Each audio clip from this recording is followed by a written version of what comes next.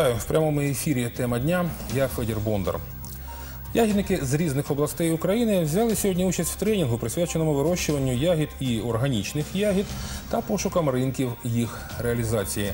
Саме про ягідний ринок, про вирощування ягід, про їх користь, про те, як зробити, щоб їх вирощувалося і більше було на наших столах, говоримо із сьогоднішньою нашою гостею.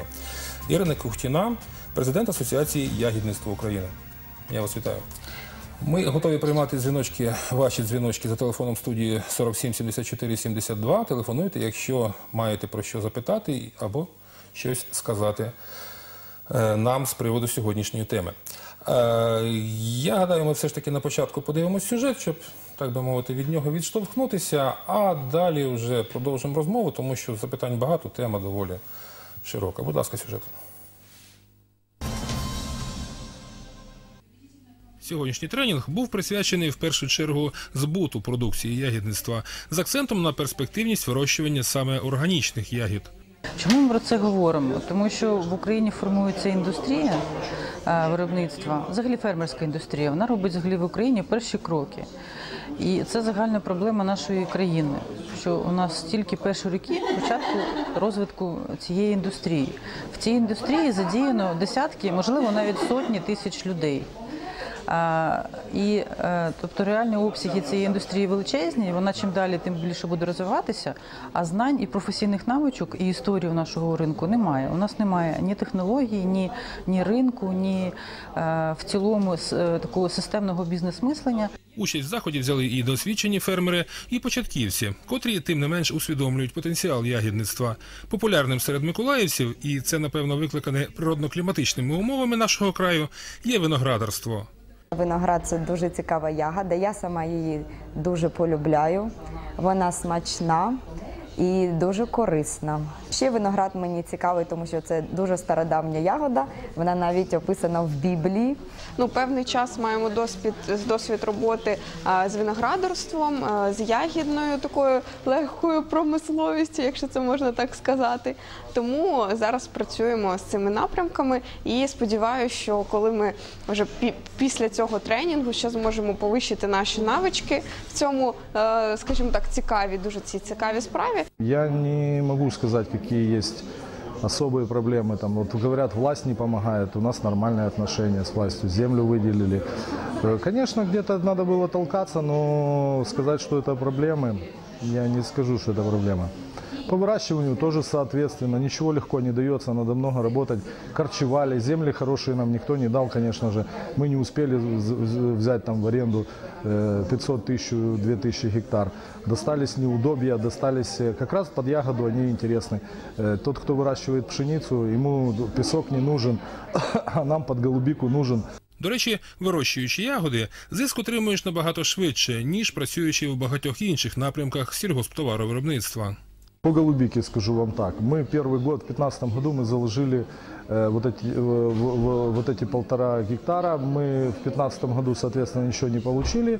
Э, мы оборвали все цветочки, которые там были, э, для того, чтобы укоренилось. В 2015 году, 8 марта, мы начали закладку. В 2016 году мы получили первый урожай и, в принципе, э, отбили все расходы по закладке, по поливу, даже скважину туда же включили.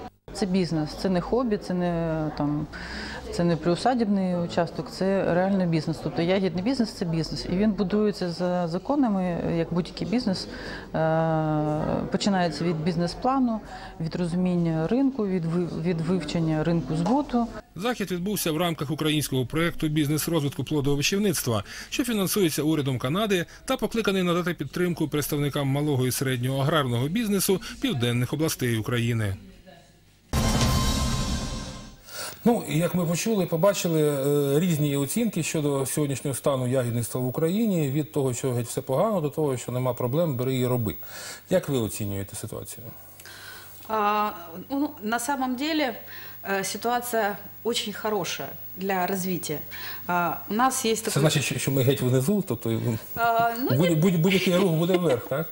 А, ну, в каких-то, в какой-то области, да, но а, тут еще на самом деле, знаете, как весь кризис по стране ударил, а ягодам он сыграл на руку, потому что ягоды из-за того, что очень сильно из-за девальвации подешевела рабочая сила, мы стали очень хорошо конкурентными по цене на мировом рынке. Да? Если до 2013 года мы ягоду импортировали, то сейчас мы экспортируем, и мы за 4 года в 10 раз, даже в 11 нарастили экспорт ягод.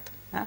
А, э, Поэтому джекпот, да, теперь главное правильно им воспользоваться, да, если нам помогла девальвация, значит нам надо работать над эффективностью, потому что ситуация рано или поздно стабилизируется, и придется работать уже понимая, что в других странах кто-то может производить дешевле. А Мы пока слабы во многом, да, мы слабы в технологии, мы слабы в маркетинге, да, но на- нам выпало, выпал счастливый билет, им надо воспользоваться для того, чтобы проработать эффективность и научиться работать с маркетингом наших я- ягод, да, на мировом рынке. Вот, собственно говоря, ситуация хорошая. А куди цей експорт пішов? Це нові ринки чи збільшилися обсяги? На, на с- на самом деле э, новые. У нас же на са- э, до э, всех э, печальных кризисных событий в стране э, наша ягода уходила свежая, особенно в основном на Россию. Да, виноград, клубника, вот это все свежее уходило на Россию.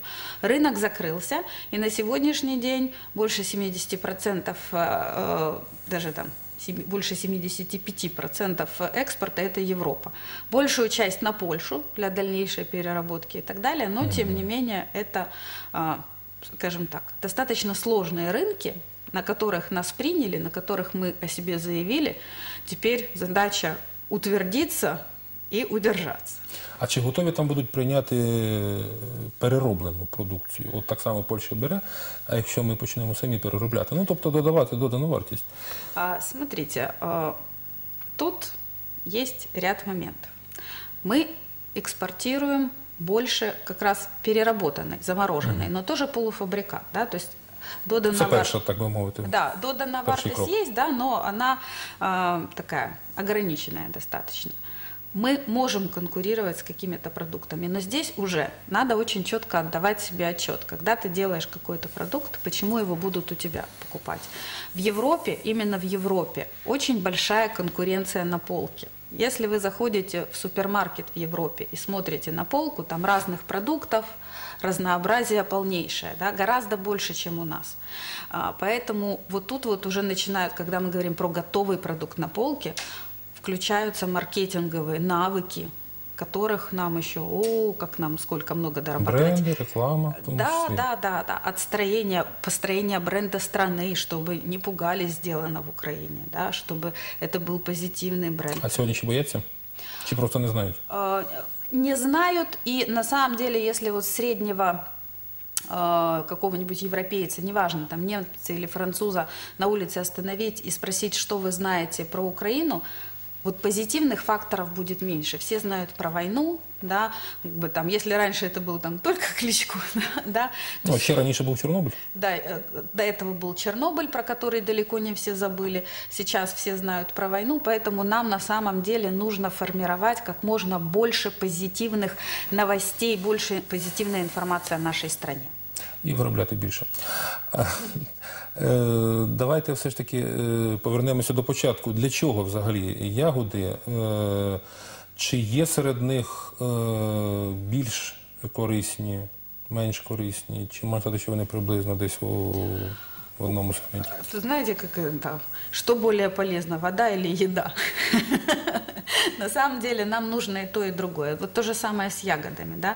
У них разный состав, у них разная полезность, у них опять же разное Гаразд. время созревания. Найдорожчі, найунікальніші і у нас е, не просто нішеві, а взагалі, от, навіть поки що екзотичні для нас. Є такі? А, Смотрите, на самом деле экзотика понятие очень относительное, да? Ну, майже немає у нас, тобто майже не вирощуються, скажімо так. А вот смотрите, то, что для нас является экзотикой, например, какая-нибудь маракуя, да, для азиатских стран является, в общем-то, повседневным фруктом, да, поэтому все пляшет от рынков, да, то есть даже наша малина для там, скажем, экваториальных стран части Азии, она является экзотикой.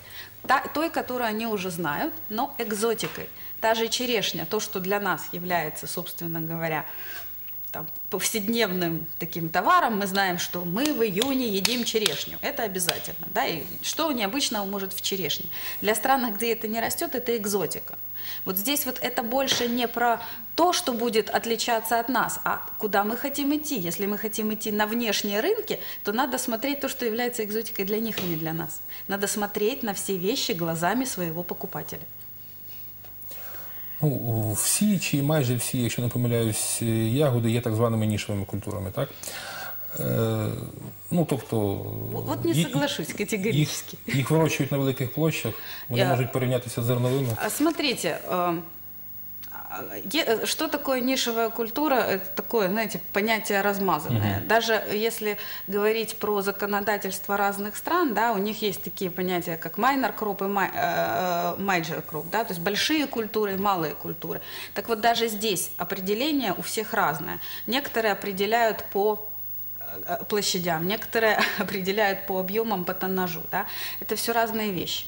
А, э, Для меня нишевость – это больше наличие очень узкой аудитории, которая потребляет. Вот для меня лично нишевость именно это.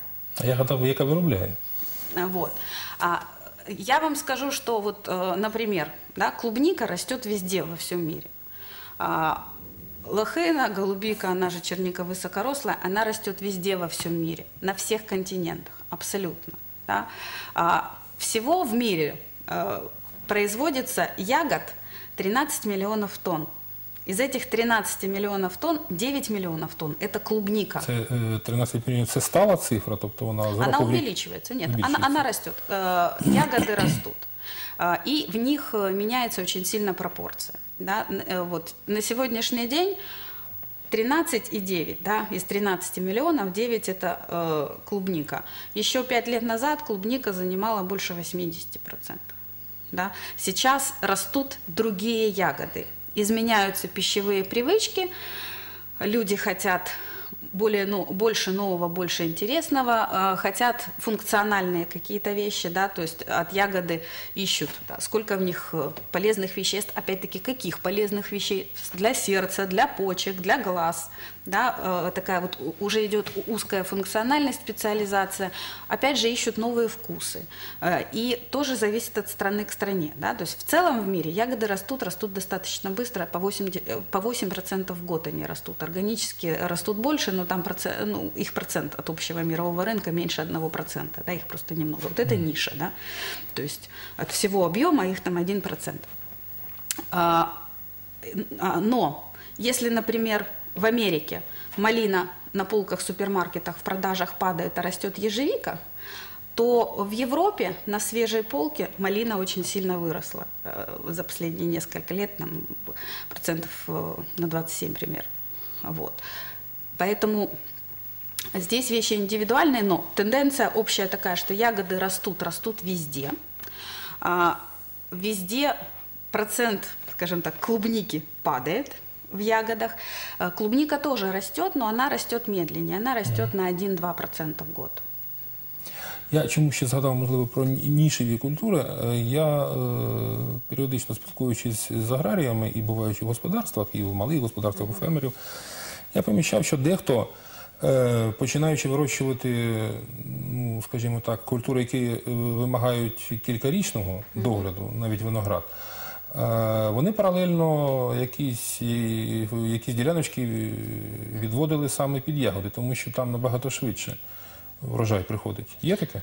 Э, Есть такое, да. Здесь на самом деле это не нишевость, это диверсификация рисков, да. Ну, я, я, я, я не буду тут чіплятися за формулювання. Ні, е, Головне, що о, вони можуть і таким чином використовуватися е, для того, щоб див- дійсно диверсифікувати, тобто паралельно вирощувати і мати дохід або з того, або з того, або поки чекаєш більшого, отримати менше. Конечно, это вот э, только что Елена говорила в сюжете о том, что ягодный бизнес это бизнес, соответственно, когда э, фермер производит это как бизнес, когда для него это основной вид дохода, он уже начинает считать, считать свои деньги, считать свои риски, считать свои возможности. Потому что очень часто, даже, э, скажем так, не столько прибыльность бизнеса в принципе, да, там по итогам года оказывает влияние, сколько, например, есть ли у тебя денежный поток, да, есть ли деньги в рукаве. Потому что вложить надо все в начале сезона, а дадут тебе деньги в конце сезона. А, опять же, та же рабочая сила.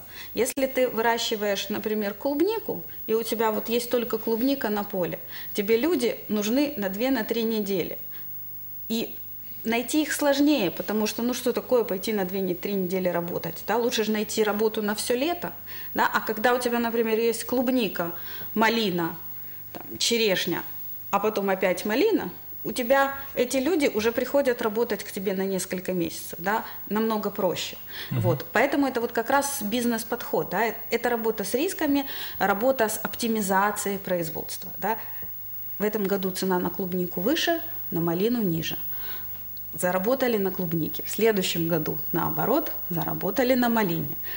Прошли заморозки в мае, клубника вымерзла, ничего, на малине как-то подтянемся. Да? Вот это вот как раз э, больше такой вот уже сознательный подход как к своему делу. Сьогодні були такі е, серед учасників тренінгу. Е, І чи можете підтвердити, що буквально на кіл- на кількох сотках можна таку собі ферму створити ягідну? А, смотрите, все участники... Шість соток стандарт. А, ну, с шестью сотками б- все, у всех было больше. А Вот. По-різному Сегодня. було, по-різному. Ну, а, а, но для всех людей, которые, а, для которых а, это на нескольких сотках, это не основной доход для семьи. Да? Поэтому, когда говорят, можно зробити на цьому бізнес, ну, на самом деле есть предел совершенству, да, сколько можно денег заработать с этой сотки. И для них это больше дополнительный заработок. Поэтому, да, они смотрят на возможности, но у них э, яйца не в одной корзине и основной доход Струкова. Да? Поэтому вот когда у фермера, например, там уже там полтора даже гектара, да, вроде бы немного совсем, но для него это уже основной доход. Вот сегодня женщина была, да, то есть если больше гектар, то для него это не только основной доход, но это еще инвестиции, это наемный персонал, да, это уже бизнес другого масштаба. А, Когда это несколько соток, по сути, речь идет не столько о бизнесе, сколько речь идет ну, о возможности подзаработать. Да, вот, и подход такой же соответствующий. Сьогодні багато говорили на тренінгу про органічне ягідництво. От як ви його, е, скажімо так, стан, рівень в Україні можете оцінити? Е, Чи є, ну, чи, чи є бажаючі вирощувати і споживати? Вот это как раз вот нишевый рынок, да, когда количество людей от общего Давайте потреб- пояснимо, що значить органічний. Це значить, що там жодних хімічних речовин, добрив, нічого. Так? Нет, это значит нет. Вот мы, кстати, сегодня же начали тренинг именно с этого, потому что зачастую люди для себя понимают органически, что там ничего нет, я туда ничего не вносил. Но это совсем не так. Если это органически, это значит, что весь процесс производства должен быть сертифицирован третьей стороной, должен быть документ, который Це подтверждает. підтвердження. Я маю на увазі е, за фактом органічний. Нет, это значит, что вот должен соответствовать э, процесс, да, потому что есть э, удобрения тоже органические, да, Ну, и- я не маю на увазі не хімічні, не, не звичні, які но відомо, що е- шкодять. есть специальные разрешенные и неразрешенные, да, потому что а, в чем э, да, дьявол кроется в деталях. Вот в чем, например, эти детали? Если взять навозом удобрить, можно внести органическим путем гораздо больше вредных веществ и микроорганизмов, Якщо десь не там харчувалися корови і тому подібне. Конечно, туда можно еще на самом деле микробиологию такую внести, что мало никому не покажется. Ну, звичайно. Вот, да? Хотя вот как бы вроде все органическое, да? Вот задача э, вот сертификации этой подтвердить, что вот этот вот весь процесс, он происходит утвержденным, правильным, безопасным для конечного потребителя путем. Да? Он отлично прослеживается. Сегодня Лена на семинаре приводила отличный пример. Когда в Германии при анализе яиц органических на полке супермаркета обнаружили там пестициды. Поднялся большой скандал. Стали отслеживать всю цепочку. А как же так произошло? Оказалось, что это из Украины пришло как бы органическое зерно с пестицидами, которым накормили органических немецких курей, которые потом, собственно говоря, снесли эти яйца. Ну, І, мабуть, це, е, це зерно, напевно, мало сертифікат. А, знаете, Ну інакше його б не прийняли. сертификат оно имело, да, но есть, Тобто це не, не, а, а, не, не смотрите, гарантія. это не га- фальсификация может быть везде, да, то есть, знаете, как бы даже то, что у вас есть паспорт, не значит, что кто-то с таким же, как у вас, Да, не ну. ходит. Но это немножко другое, да, это зона криминала. Да? Когда мы говорим о том, как это должно быть, да, без вот этих криминальных вещей, Звичайно. да, то это гарантия вот этого процесса. Как минимум, что он требует? Чтобы у вас было задокументировано все. Да? Это значит, что вы точно знаете, что вы вносили. Не помню когда-то, да? а вот внес, записал. И вы за 3-5 лет можете поднять, посмотреть, что вносил, сколько вносил. Да? И это гарантия того, что продукт, который будет в конце, он будет безопасный, он будет органический и так далее. Да? Потому что сегодня вот как раз на эту тему вносили ясность, потому что а, была женщина, она задала вопрос. Ну, я вот в, э, в лабораторию сдала, мне сказали, все нормально, значит, оно органическое. Оно, значит, оно соответствует нормам государственным, да? А вот органически, это как вы его производили, да? Гарантия того, что... И вот если у вас сегодня купит человек, и завтра, и послезавтра, оно будет органическим. Тобто, що н- на кожному етапі абсолютно все витримав.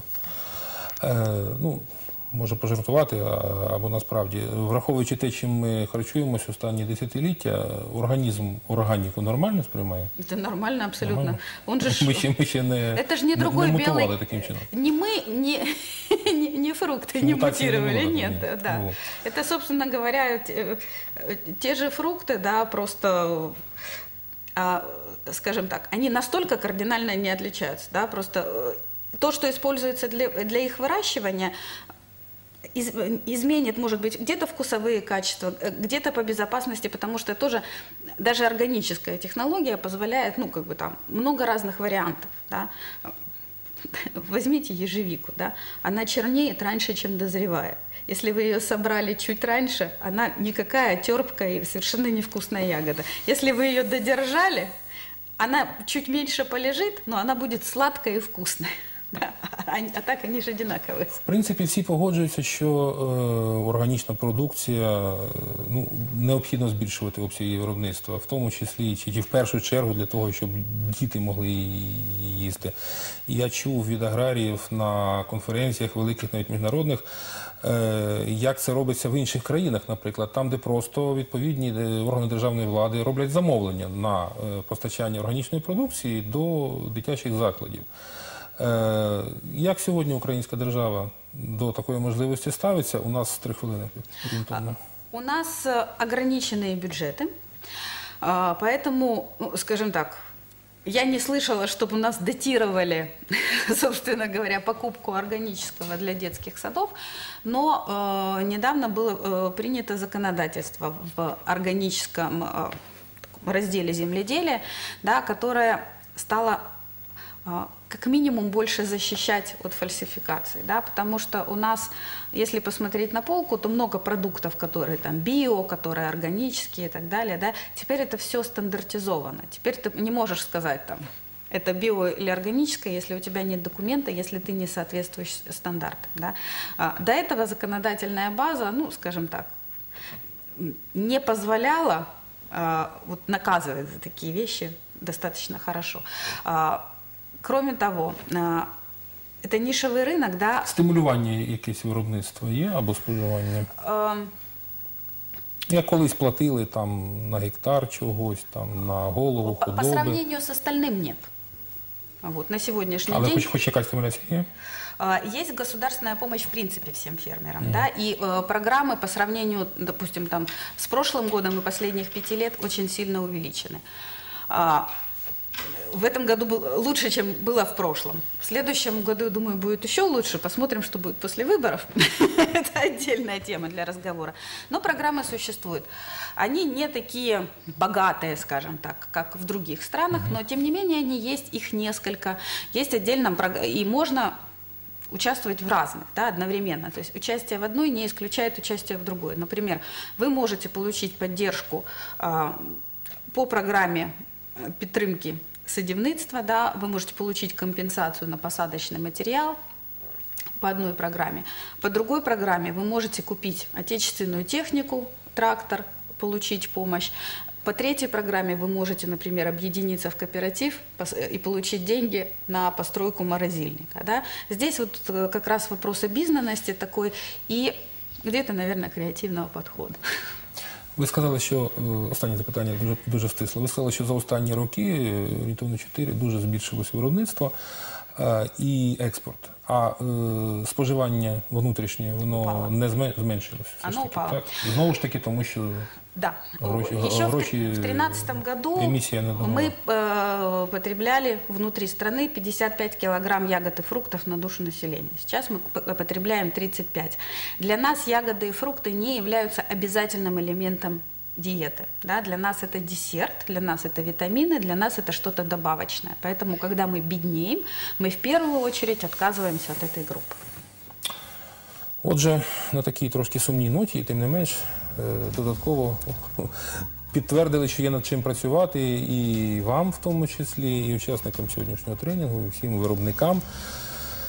Ну а ми будемо споживати, якщо будемо багатіти, будемо споживати більше і таким чином теж розвивати ринок. Я вам дякую. Дякую всім, хто був з нами. Побачимось.